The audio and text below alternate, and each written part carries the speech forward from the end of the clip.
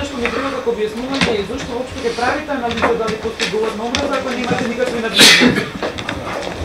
Тоа секој член на советот има право да побара анализа на било кој прилог и Да, тоа ама зашто ќе ја правите ако немате надлежности? Што со таа анализа понатаму? Дали имате ќе разгледаме да на советот, ќе И понатаму кои се мерките? Не, прашуваме. Пошто секојаш станување прстот го мерките. ставате на... Не, ама ако има говор на омраза, еве, ние треба да пријавиме во полиција, тогаш еве, јас за мојот случај си прашувам, јас треба да пријавам во полиција, па обвинителство да покрене нешто, а ЗНМ и Совет за радиодифузија, зашто се?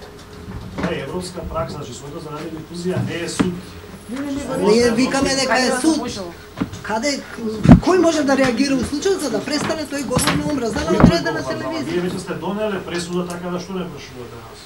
Ма не, сме добрале така, ама пресуда, ние не сме суди. Судивте, објавивте, осудивте, уште луѓе во затвор да пратите и готово, што тогаш ние да да гледам. да- Ние да пратиме луѓе во Па затвор. Не, така и вие Па и направите. ние исто не пред било Тоа сакаме да ви веќе- Кое тело може да реагира Ајде, оваа држава? Кое да, тело?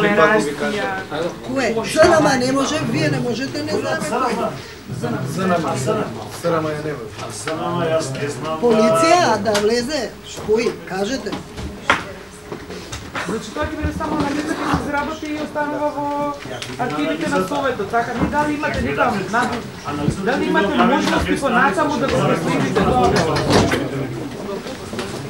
гледала закон, гледала закон за Антони. Да, ево гледам. Да, да, да. Ние сме донели.